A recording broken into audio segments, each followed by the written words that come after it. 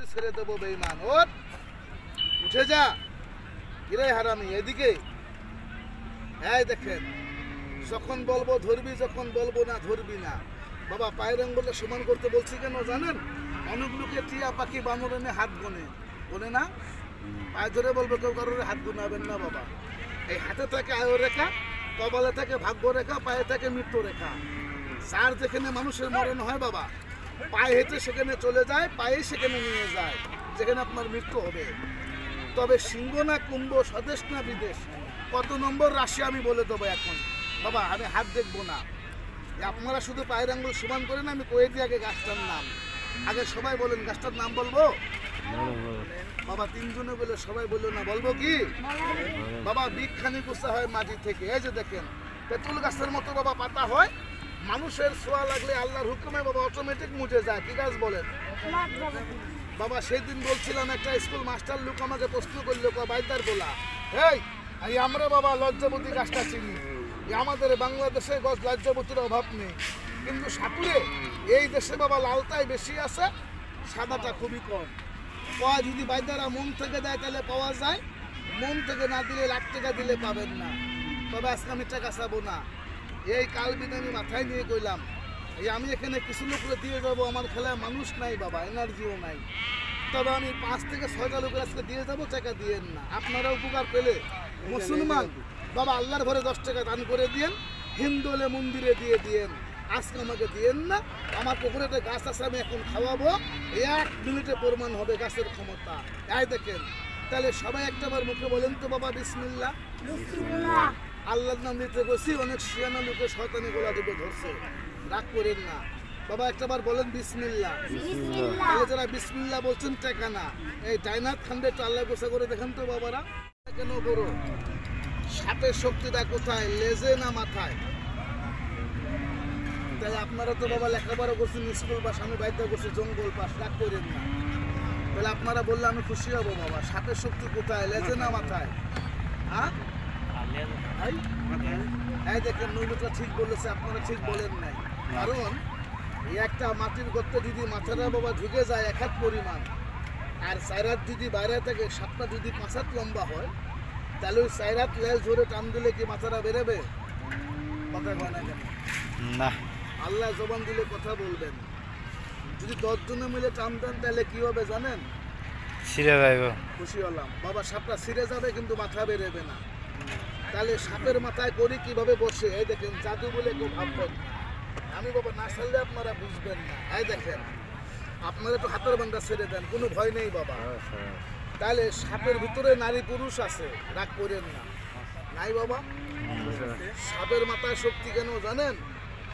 সাপ আর সাপিনী বাবা মিলন করে সং করে।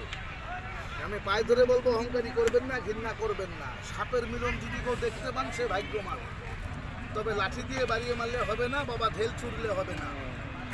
সাপের মিলামেশা দেখতে পাইলে গামছা, কাপড়, চাদর থাকলে আপনি বাবা ঢেকে দিবেন। ভাগ্য থাকে পাতার তলে, পাতা উল্টে গেলে মানব জাতির ভাগ্য খুলে। তবে সাপে সহবাস করে বাবা পাঁচ থেকে ছয় ঘণ্টা। আপনি হাসেন না আমার কথাটা। তাহলে সাপে কি খায়? মানুষের মতো ভালো মন্দ খায় না বাবা। আমি দেখাই দেখেন, বাবা সাপে খায় একটা গাছের পাতা। ছয় ঘণ্টা মিলন করে সাপিনীর সঙ্গে। গাছটার নাম আমি কয়ে দিই।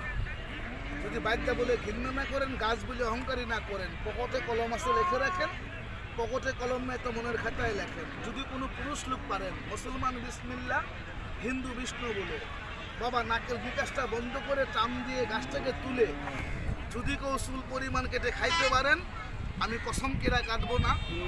এই আল্লাহ তুমি সাক্ষী, যদি অরিজিনালটা খাইতে পারেন, বাবা বুড়া হয়ে যাবেন। মাথার চুল পাকবে, চাপার দাঁত পড়বে গাড়ি চামড়া নীল হবে। নৃত্য রাগ পর্যন্ত নারীর সহবাসে লজ্জা পাবেন না। হাতে ঘড়ি ধরবেন, বাবা আঠারো মিনিট মিলামেশা করবেন।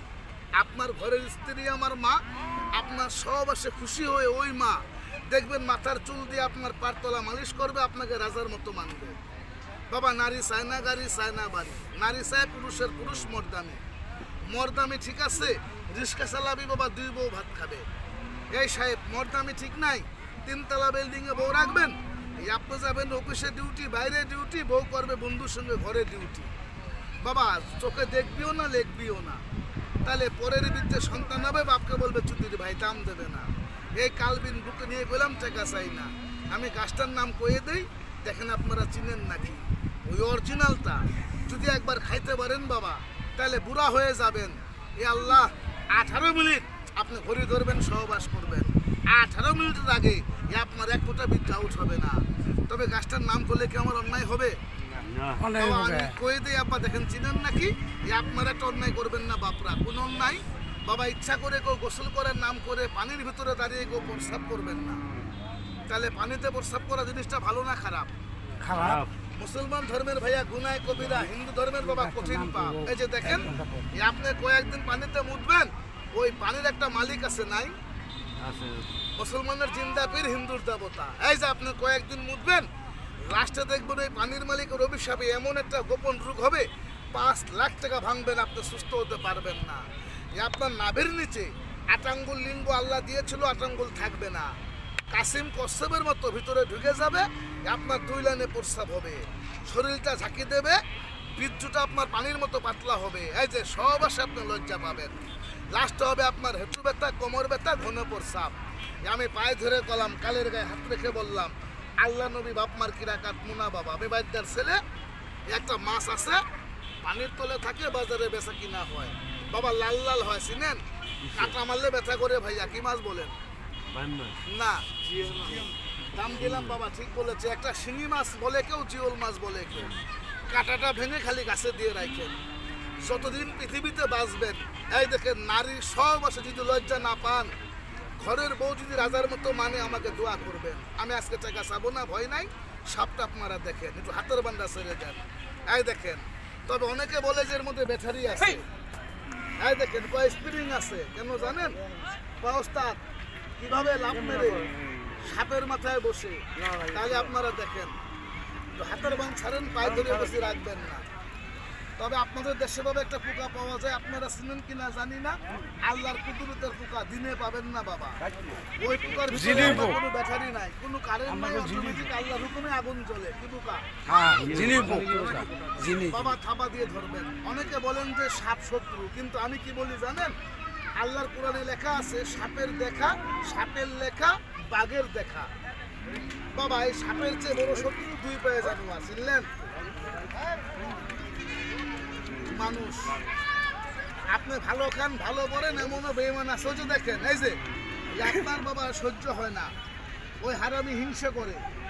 যদি আপনার সঙ্গে বাবা শক্তিতে না পারে আপনার সঙ্গে অর্থ সম্পদে না পারে, এই আপনার বাড়িতে একটা গাই আছে, দুধ বেশি দেয়, ওই বেইমান গাইটাকে বান মারে, সে গাইটা দুধ দেয় না। এমন লোক নাই। আমি তার কুকুর বলে ঘৃণা করি, বাবা, আমি বাদ্যার ছেলে। বছরে নয় মাস থেকে ইন্ডিয়ায় আমার জন্মস্থান সাবান এই বাদ্যা পাড়া এই কাল করি বুকে নিয়ে গেলাম বানালা বান, জাদুওয়ালা জাদু। ওর বাপের ক্ষমতা নিয়ে একটা বান মারতে পারে আমি কথা দিলাম। মৃত্যুর আগ পর্যন্ত আপনার দেহ থাকবে তাগড়া। তাহলে আমি গাছটার নাম কয়ে দেই। খালি পোকার মাথাটাকে ছিঁড়ে গাছে দিবেন। যুবতী মেয়েকে বিয়ে কর, বান মারে, বিয়ে নষ্ট করে। ভালো ছেলেকে বান মারে, ব্রেন নষ্ট করে। বান আলা বান, যদি ক্ষতি না করতে পারে আমার নামে দোয়া করেন। এই আমি বাবা গাছটার নাম কয়ে দিই সাপটার চেহারা আপনারা দেখেন এই যে দেখেন। ভাই হারামি বাড়িয়ে যা। মাথা তোল। বাবা তো সবাই একটু আগে আসেন না আপনারা। ঘৃণা করলেন নাকি বাইকটা এই তো হয়েছে বাচ্চারা আইছে আপনারা আসেন না। বাবা একটু আগে